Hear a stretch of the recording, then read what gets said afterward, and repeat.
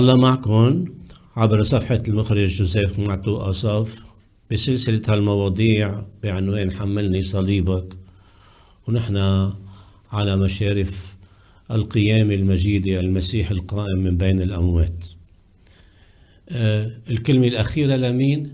هذا عنوان اللقاء نحن وياكم اليوم آه بخاتمة لقاءات هالزمن الصوم اللي كنا عم نتابعه حلقة ورا حلقة.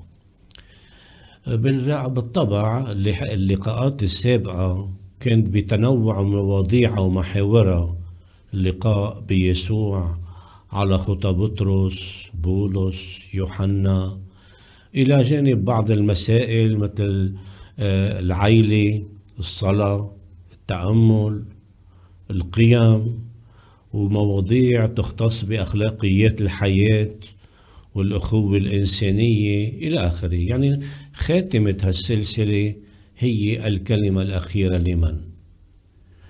نحن كمؤمنات ومؤمنين جوابنا البديهي الكلمة للرب بالأول وبالآخر لأنه الله هو الكلمة. إذا رجعنا للكتاب المقدس منشوف قديش الله هو هالكلمة وكيف هالكلمة دخلت بحياتنا ورافقتنا وخلصتنا. وخلصتنا بهالقيام المسيح اللي انتفض على الموت والقيامة لحتى يشركنا بمجد قيامته ونكون من عداد المخلصين. فإذا الله بيتكلم معنا تكلم معنا من البداية من البداية الكون وبابنه يسوع المسيح ولا يزال يتكلم معنا. كمان بعمل الروح القدس فينا. إذا نفتح الكتاب المقدس بالعهد الجديد إنجيل يوحنا بتركز هالمقدمة اللاهوتية على الله الكلمة. بيقول في البدء كان الكلمة والكلمة كان لدى الله والكلمة هو الله. بإختصار مقتضب هذا جوابنا الكلمة الأخيرة لمن؟ وأول كلمة قال الرب ببداية الكون وقت اللي خلق السماء والأرض برواية الخلق بسفر التكوين كان يقول الله ليكن نور فكان نور. وكل يوم من خلال الخلق المتتالي للمخلوقات للحيوانات للطبيعة لفصل المياه عن البر إلى آخره. كان دايما بكلمته تتحقق هالأمور كلها سوا. ولكن حس ربنا إنه إذا كان هو الكلمة بده يتشاطر أو يتواصل فيها مع حدا. هون قال لنصنع الإنسان على صورتنا ومثالنا. يعني الله أراد من خلال خلق الإنسان يكون التواصل مع محاور من آه على صورته على مثاله. مشان هيك خلق الله الإنسان على صورته ومثاله. فإذا صرنا نحن مع الكلمة بحوار بيبدأ من عند الرب وبجواب من عند الإنسان. بتصفح الكتاب المقدس بالعهدين القديم والجديد. بالعهد القديم خطبنا الله. يعني ما فينا نذكر كل شيء ولكن نذكر بعض نماذج. حكينا مع إبراهيم أبو المؤمنين مع موسى مع الآباء مع الملوك مع الأنبياء. وأكيد بملء الزمن مثل ما بيقول الكتاب المقدس كلمنا بابنه الوحيد يسوع المسيح. يسوع كلمة الله لإلنا مدشن فيه العهد الجديد انتقال من العهد القديم إلى العهد الجديد. فإذا هالتواصل بين ربنا من خلال بقلب العهد القديم بأشكال متنوعة. مثلا إذا بناخد مشهد إبراهيم اللي قال له اترك أرضك وعشيرتك إلى البلاد التي أريك كان عم يتدخل أو عم يتواصل معه بأشكال بحضور معين. يعني مثلا ملاك الرب. وقت اللي بيقول ملاك الرب يعني الله عم بيحكي بواسط هالمرسل اللي هو الملاك. من هيك بشروا مثلا لإبراهيم. كان صار كبير بالعمر هو وزوجته سارة. بشروا إنه بده يخلق من عندك ابن. يكون هو نسل من خلاله لأنه كان أول شيء مع إسماعيل ابن الأمة إلى آخره. لا قال له ابن الوعد هو راح يكون إسحاق. كان فإذا في محطات بها التواصل بها الحوار بين الله والإنسان. وبنشوفه حتى مع إبراهيم لأنه عم نعطي هالأمثال. شوف كيف ربنا عم بخاطب عم بيحكي هالكلمة هاي. بنشوفه أنه مثلا عم بيقول له من بعد ما ولد إسحاق قال له بدي إياك تقدمني إياه ذبيحة. شغلة ما هينة. ما إبراهيم ليش بنسميه أبي المؤمنين رغم هيدا وكله كان عنده هالطاعة للإيمان وراح بده يقدم الذبيحة. ولكن الرب أكيد ما كانش هالشيء بده. كان عن يختبر عن يمتحن إيمانه عن يمتحن تفاعل كلمته بقلب إبراهيم إبراهيم أبي المؤمنين. ومشان هيك افتدى بالكبش اللي كان حد منه بالعلايقة لحتى يكون هو الذبيحة مش آه، آه، إسحاق. فإذا هيدا نموذج من كلام الرب. نموذج تاني مع موسى. عم نحط بعض المحطات الكبيرة. في كتير إشياء مراحل. مع موسى مثلا وقت اللي ظهر له بالعلايقة اللي عم تحترق. اللي عم تشتعل بدون ما تحترق يعني كعلايقة ليش علامة حضور هالنور الوهاج؟ الله عم بخاطب موسى وعم بيقول له إنه أنت لك رسالة لك دعوة. أنت بدك تاخد طريق خلاص الشعب من عبودية فرعون والأراضي المصرية لحتى توصلهم إلى أرض الميعاد. يعني وعد الرب اللي عم بينظر لشعبه كان عم بيطلع شو عم بيعاني كان عم بيتدخل بالتاريخ كان عم بيخاطب من خلال اللي اختارهم لحتى يقدروا يجسدوا تواصله وكلمته بقلب حياة الشعب. وهيك بنعرف نحن كيف موسى من خلال كيف صارت وبعدين العبور إلى سينا لحتى يوصلوا بعدين مع يشوع بن سراخ إلى آه، أرض الميعاد. نموذج من الأنبياء أشعيا النبي مثلا.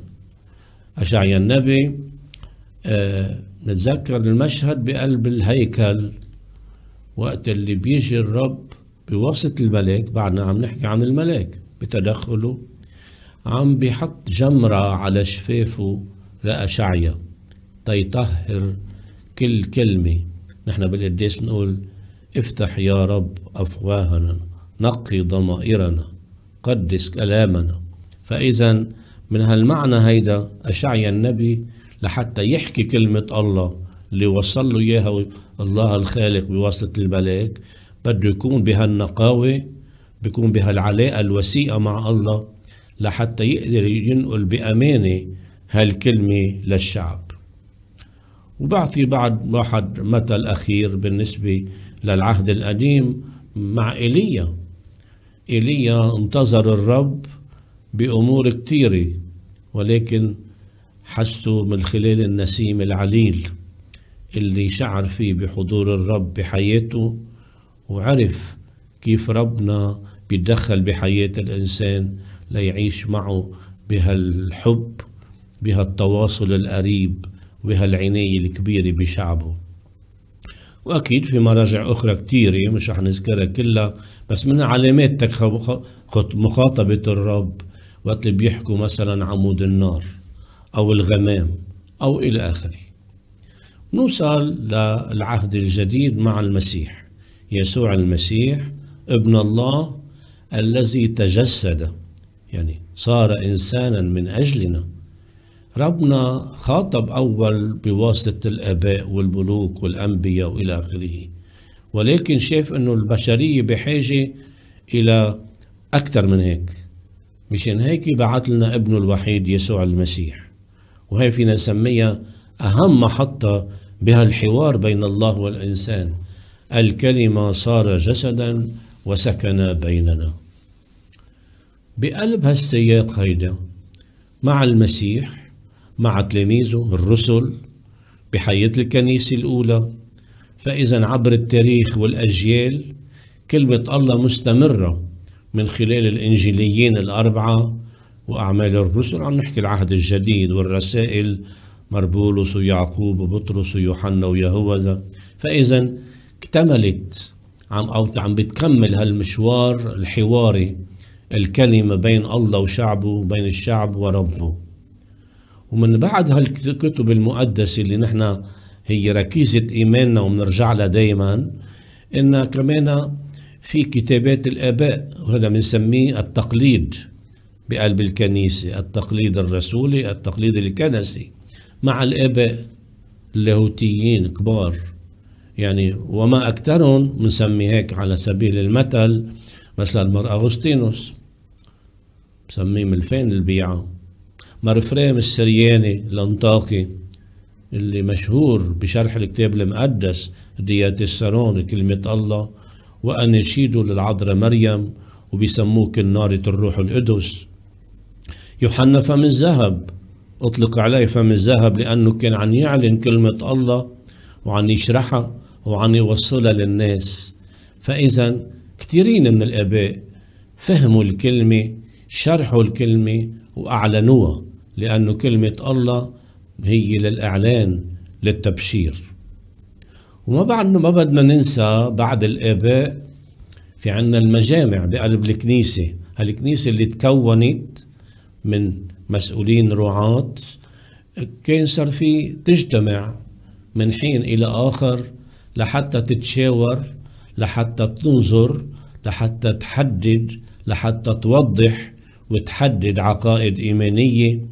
تعمل مجامع مسكونية تعمل سينودوسات حول مواضيع محددة تكتب وتوصل بالوثائق الحبرية والإرشادات الرسولية كلمة الله من خلال هالإصدارات اللي كانت تعطيها. فإذا في تكامل وتواصل عبر التاريخ من القديم للمسيح نحن بالعهد الجديد الذي يستمر. وعمل الروح اللي عم بيشتغل فينا. بدي أعطي مثل بالمرحلة اللي نحن عم نعيشها. نحن من خلاله بدي أعطي مثل قريب مش كتير بعيد يعني. هالإرشادات الرسولية اللي أصدرها أصدروها البابوات رح بتوقف على إرشادين وعلى رسالة. أول واحد آه، هو منه الأول بالإرشادات بس بهالموضوع اللي عم نحكيه كلمة الرب. كلمة الرب اللي أصدرها البابا بنديكتوس السادس عشر سنة 2010 بعد سينودوس كان صار 2008 بعد كل سينودوس في إرشاد رسولي بينقل آه، خلاصة المناقشات والتوصيات والقرارات. فإذا كان عنوانه كلمة الرب.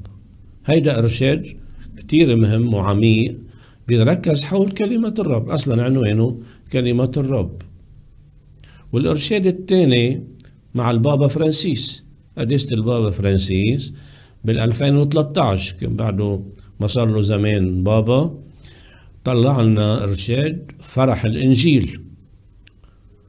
وبعد منه مش من سنتين يعني بال 2019 طلع إرادة رسولية حتى يحدد أو حتى يركز على كلمة الله عين وطلب أنه بكل الكنيسة الأحد الثالث كل سنة أحد الثالث من شهر كانون الثاني يكون أحد كلمة الله. يوم الرب تكون متمحورة حد كلمة الله.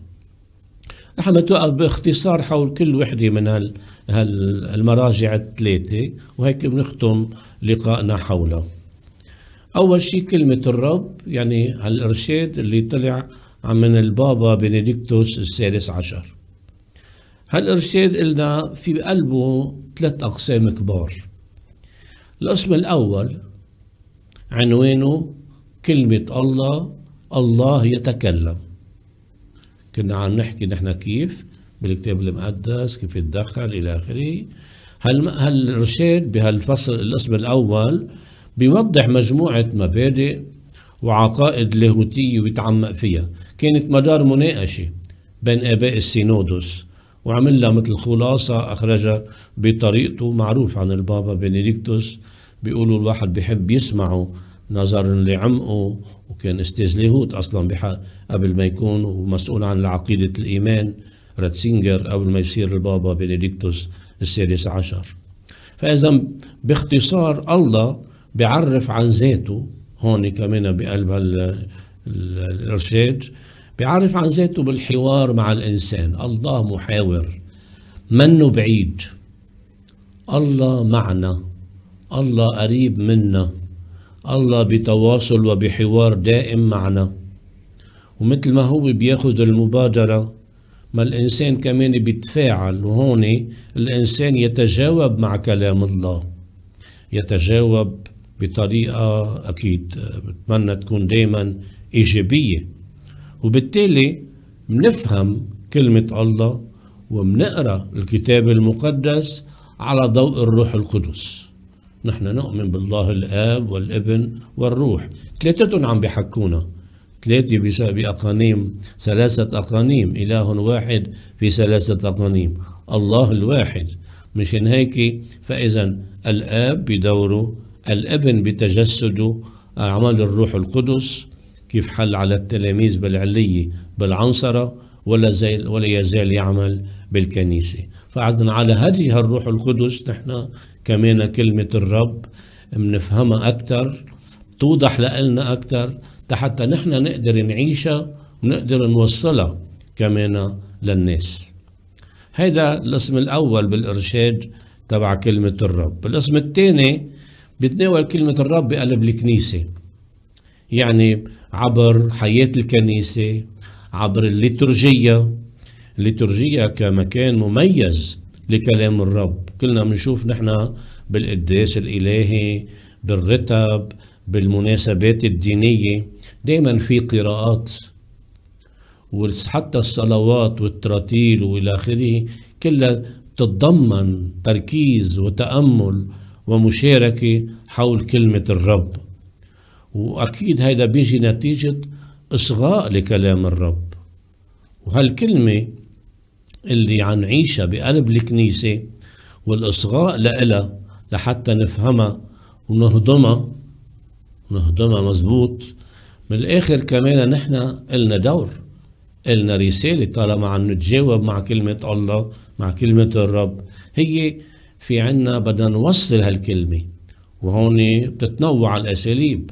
في عنا مثلا التنشئة في عنا عيش الجماعات والتجمعات الكنسية. ونحن بأيامنا ما في أفضل من وسائل التواصل الاجتماعي كمان خاصة بزمن الكورونا وغيره وقت الإنسان مش قادر برغم التباعد إنه يتواصل عن قرب. ولكن عبر هالوسائل التواصل الاجتماعي قادرين. كمان يكون بخدمة كلمة الرب ونقدر نوصلها لكل إنسان بدل ما نتلهى بتعليقات على اليمين وعلى الشمال ما بتليق بكرامة الإنسان.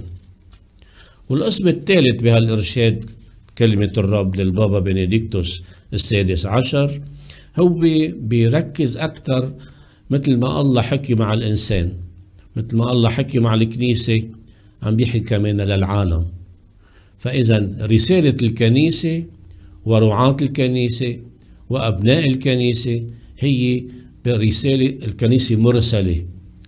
يعني الكنيسة مدعوة إلى التبشير إلى إعلان كلمة الله للتركيز والتضوية على فعالية كلمة الرب عبر عيشة لهالكلمة واللي فينا نختصرها بالمحبة. القديس أغسطينوس بيقول أحبب وافعل ما تشاء. لأنه اللي بيحب ما بيأذي. اللي بيحب بيقدر يعيش مع كلمة ربنا اللي عم بيستوحيها من هالكلمة اللي تعلقت على الصليب لحتى تفتدينا مجانا بحب لا محدود بحب فينا نسميه مجنون. إلى أقصى الحدود تيخلصنا ويفتدينا وأكيد مش رح نضل هون لأنه بالنهاية هالصليب هو طريق المجد رح يوصل للقيامة. يسوع القائم من بين الأموات علامة الانتصار. علامة انتصار كلمة الله. علامة الانتصار على الموت. علامة الانتصار على الخطية. فإذا القيام بكل أبعادها تتشمل كل إنسان. يؤمن بالرب وبيتبنى كلمة الله وبيعيشها كل فئة الشعب. صغار كبار أي نوع. أهمية كلمة الرب مهمة كتير بحياتنا. وموصلها للعالم. وبالوقت ذاته كمان بنحكي بعصرنا بحوار الأديان إنه كلمة ربنا بتشجعنا على التواصل مع الأديان الآخرين مع احترام العقائد لكل آه، آه، دين بهالمجال. ولكن نحن نحكي كمؤمنين بكلام الرب فإذا نحن نحاور انطلاقا من هالحالة اللي منعيشها بتفاعلنا مع كلمة الله. النموذج الثاني إذا حكينا عن الإرشاد مع البابا بنديكتوس السادس عشر النموذج الثاني فرح الإنجيل مع قداسة البابا فرانسيس. هون كمان بإختصار مش رح طول بيقول قداسة البابا بهالإرشاد بيعالج آه، هيك بالمقدمة خاصة بيقول بدي يعالج بعض المواضيع المرتبطة بالتبشير بالإنجيل. يعني هالكلمة اللي عم نعلنها في أمور كيف بتصادفنا بالحياة كيف فينا نحن نعزز هالبشارة وإيصال كلمة الله للناس. موضوع مثلا إصلاح الكنيسة المنطلقة إلى الرسالة. إصلاح الكنيسة يعني حجرا بشرا ونعطوس البشر والقائمين القيمين على هالرسالة المسؤولين. كل شعب الله لأنه بالنهي كل معمد كل ما اقتبل سر العماد مسح بالميرون أصبح ابن روحي بالكنيسة هو مؤتمن على هالكلمة ومدعو لحتى ينطلق لرسالته بالموقع اللي هو فيه. الرسالة مش ضروري نروح على آخر أبعاد الدنيا بنبلش بحالنا ببيتنا بعائلتنا برعيتنا ببلدنا بمجتمعنا وقد ما ربنا بيعطينا وزنات أو الدعوات الخاصة بقلب حياتنا. لحتى هالكنيسة تكون عم توصل هالرسالة كلمة الله. هذا موضوع توقف عليه منيح قداسة البابا وكمان بينتقل لناحية تانية حتى يقول بقلب هال هالانطلاق بعالم الرسالة في تجارب. تجارب اللي عم بيشتغلوا بحقل العمل الرعوي. ما ننسى نحن صحيح خلقنا على صورة الله ومثاله ولكن نحن بشر. نحن منا آلهة. نحن بنتقدس بالرب والرب بالتجسد وبالقيامة جاي لحتى إجا لإلنا لحتى نحن نصير معه. فإذا بس بمسيرتنا على الأرض في صعوبات أحيانا في تجارب نخضع لها هون قديسة البابا بيتوقف عليها لحتى يكون الإنسان بأتم وأفضل استعداد لإعلان هالكلمة كلمة الرب. ثالث موضوع معالجه كمان هو مفهوم الكنيسة. الكنيسة يعني شعب الله يعني الجماعة. ولكن هذه اللي بميزها هيدي جماعة مش بس يا حبيبي يا عيني نعيش المحبة وهذا شيء أساسي وضروري ولكن كمان عم بتجسد كلمة الله بحياتها وتبشر الإنجيل بين أفرادها وبجماعاتها بمؤسساتها ولكن كمان بحضورها بقلب العالم. الموضوع بعد منه بيذكروا رئيس البابا وكتير ركز عليه هو العظة الوعظ بالكنيسة. أهمية الوعظ أهمية تحضيره. وشو عم نوعظ؟ نوعظ كلمة الله. ممنوع غير كلمة الله. ونحن بظروف يمكن أحيانا بصير معرضين شوي لحتى نتطرق لمواضيع ما لها علاقة وما ما, ما لازم تنقل عن المذبح بهالموضوع. كلمة الله بتوصل تأمل فيها بنخلي الناس لحتى تصغي لها مزبوط بهالشي. غير مواضيع تنحكى خارج الكنيسة بهالأشياء هي.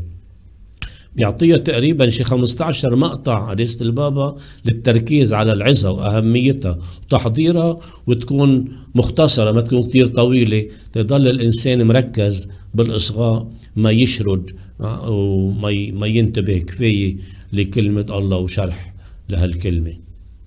موضوع آخر كمان بيعالجه البعد الاجتماعي للإنجيل. هالإنجيل منه هيك مجرد كتاب. هيدا في تفاعل معه بقلب المجتمع.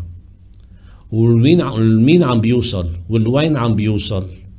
حبرية البابا فرانسيس بيركز كتير اذهبوا إلى الضواحي.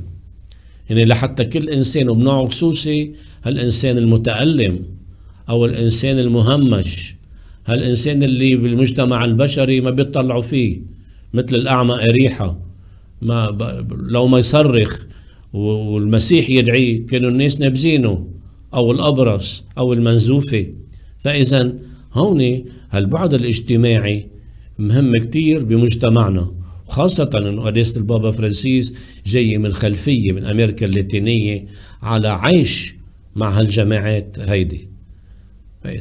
بيرجع كمان بينتقل بالمعالجة المواضيع هالمساهمة بتبشير الإنجيل شو دور الحوار وشو دور أجواء السلام اللي بتساعد؟ يعني الإنسان بده يحاور بده يحاور من منطلق مع شخص تاني أو مع جماعة عم بيتحاور معها على مستوى إنساني ولكن على مستوى راقي على مستوى نقدر نفهم على بعضنا البعض بأجواء بتشجع إن نتابع هالحوار بسلام بطمأنينة. وبارتياح نكون مرتاحين لبعضنا البعض يعني عيش هالأخوة الإنسانية.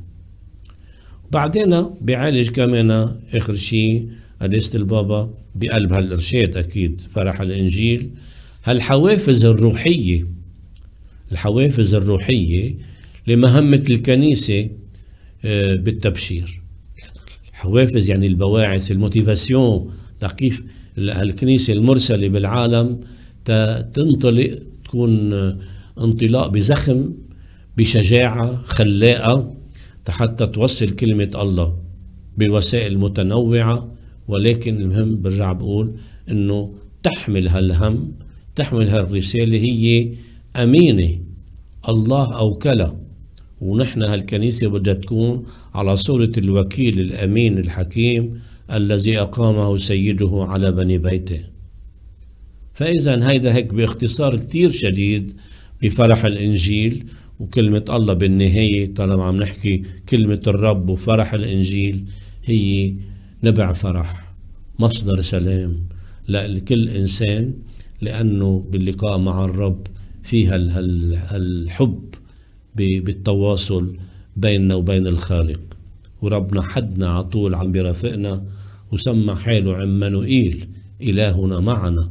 لحتى يكون رفيق دربنا بالحياة حتى الصليب لحتى يخلصنا ويوصلنا إلى القيامة النقطة المرجع الثالث والأخير اللي عن نقول إنه يكون هيك نموذج من بين عيش كلمة الله هو هالرسالة الحبرية بشكل براءة بابوية. البابا فرانسيس أصدرها ب 30 أيلول من سنة ال 19 يعني. كان كان وقتها عيد القديس سان جيروم. تحت عنوان هالرسالة فتح أذهانهم. هذه مأخوذة من تلميذي عماوس وقت اللي كانوا المسيح قام من الموت هن بعدهم مش عارفين كفاية حقيقة هالقيامة كانوا يعني يمشوا مع بعضهم وعم بيتشاوروا وزعلانين حزنانين إنه هالمسيح اللي عشنا نحن وياه على مدى ثلاث سنوات بالتبشير ويجوا للمدن والقرى لحتى يعلن آه، يوصل توبوا فقد اقترب ملكوت السماء فإذا هون القديسة البابا أخذ هال هالمشهد من تلميذي عماوس وقال إنه هيدا بدنا نحطه بتصرف كنيستنا. نحن كنيستنا كمان بهالمسيرة مثل تلاميذ عماوس لحتى تفهم تنفتح أذهاننا لحتى نفهم الكلمة. انطلق منها لحتى نقول أحد كلمة الله يعين أحد كلمة الله مثل ما آه، ذكرنا أنه الأحد الثالث من شهر كانون الثاني. من كل سنة من كل سنة مش بس مرة من كل سنة أحد كلمة الله متوافق كمان هي هالاختيار هالتاريخ مع أسبوع آه، الصلاة من أجل وحدة المسيحيين. أنه كلمة الله للكل. المسيحيين جزأوها بالانشقاقات وبالهرطقات فلذلك أهمية هال, هال كمان هالإعلان هيدا. يوم الرب هو اليوم الاحتفالي عم نحكي عن أحد كلمة الله المكرس للتأمل بكلمة الله وإعلانها. مكرس للكتاب المقدس يعني. لحتى نضل دايما على صلة على صلة مستمرة وثابتة. مع هالكلمة اللي هي كلمة نور وحق وحياة. الله ما بيتعب. دايما بيتوجه لإلنا بيتوجه للكنيسة عروسته. الإنسان مدعو كمان بدوره لحتى ما يتعب ويكون عم يواصل هالتأمل بكلمة الله بحياته وأشكال التأمل وعيش الصلاة وكلمة الله بأمور كتيرة متنوعة. بحي بنهاره بليله بنومه بشغله بعلاقته مع الناس بأحاديثه بكل اللقاءات. فإذا هالصلة بكل الحياة ما بتستثني ناحية من حياتنا. وهون بيأكد لنا قداسة البابا وبيشجعنا إنه نحن دايما بحاجة بحاجة دايمة طارئة لحتى تكون صلتنا مع الكتب المقدسة مع القائم يسوع المسيح القائم من بين الأموات. فإذا صلة مألوفة وحميمة مع يسوع المسيح كلمة الله للبشر. فإذا في نوع من ال في نوع دعوة إلى الثقة الثقة بالكتابات المقدسة. وإلا لا سمح الله بيبقى القلب بارد والعيون مغمضة وكأنه مصابة بأشكال متعددة من العمى. لا ربنا وقديس البابا من خلال الرسالة عم بيدعينا نفتح عيوننا نفتح قلبنا نفتح أذهاننا. والاحتفال بذكرنا ساعتها بهيك التركيز بهالفهم لكلمة الله لإعلانها وتشجيع تشجيع لقراءة الكتاب المقدس بالحياة اليومية. يعني نحن كمؤمنات مؤمنين كل يوم مدعوين نقرأ بالكتاب المقدس. مقطع صغير كبير قد ما الوقت نكرس وقت نعطيه لحتى كلمة الله لأنه بالنهاية بدنا عم نقول هي كل شيء بحياتنا من الأول للأخير. فإذا معناتها يعني الكتاب المقدس منه مجرد ورثة ميراث مأخوذ أو مجموعة كتب منحطة بالمكتبة منزينها بأحلى غلاف أو شيء من هالنوع موجودة لحتى نفتحها. نقريها نتأمل فيها. هذه صارت ملكنا. هي ملك للشعب. المدعو يعرف نفسه ويعرف الكلمة الله مزبوط لأنه كمان هيدي بتوحدنا. الكتاب المقدس الكتاب المقدس بيوحد المؤمنين. يعني بيجعل منا جماعة شعب جماعة الكنيسة. بهالسياق فإذا معناتها تكريس هالكتاب هال هال القراءة. للكتاب المقدس. وقت اللي بنكون عم نتوقف للصلاة والتأمل بهالنص المقدس معناتها في خطاب مخاطبة في حوار عم نتواصل نحن وربنا. ولكن كمان من خلالها نقدر نوصل لأخوتنا البشر بهدف تعبير عن ما هو أساسي إنه نحن كلمة الله إلى نتيجة إلى ثمار نقدر نعيشها. فإذا هذا الاحتفال بكلمة ربنا هو قراءة إصغاء فهم مش بس دراسة. دراسة مهمة مشان نفهم أكثر بس لحتى تكون مربوطة بواقع الحياة الإنسانية.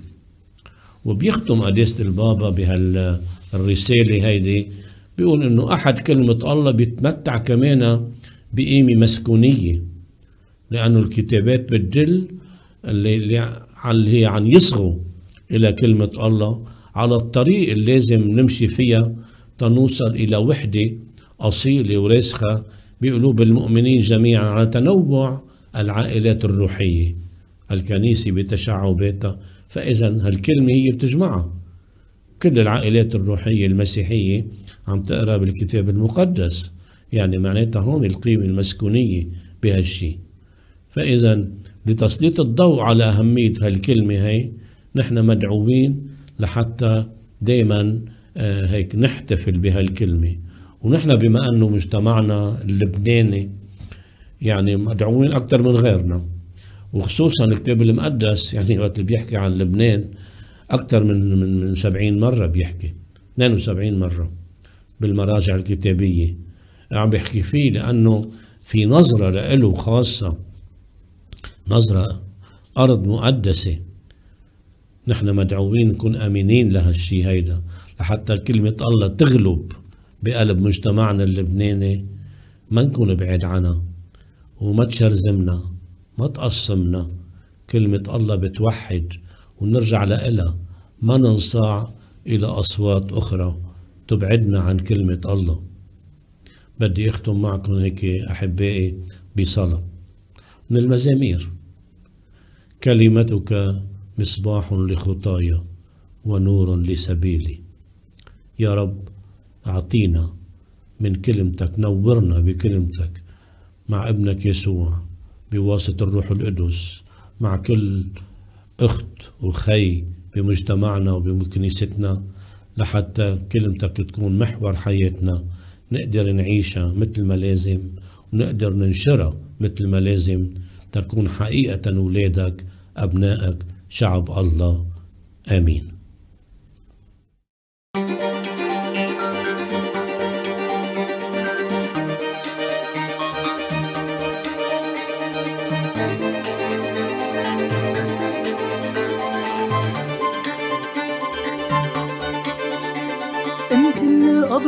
تسكن القلوب وتعطي الحياة لكل الخليقة. بنادي باسمك تتبقى محبوب. يسوع الخلاص وهو الحقيقة.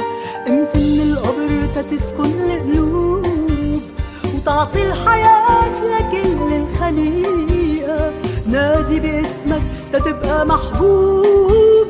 يسوع الخلاص وهو الحقيقة. نور الأيام بيعطيني الحقيقة. بفهم ألامك بحمل صليبي. بعلن إيماني بصرخة جريئة أنت إلهي وحدك نصيبي.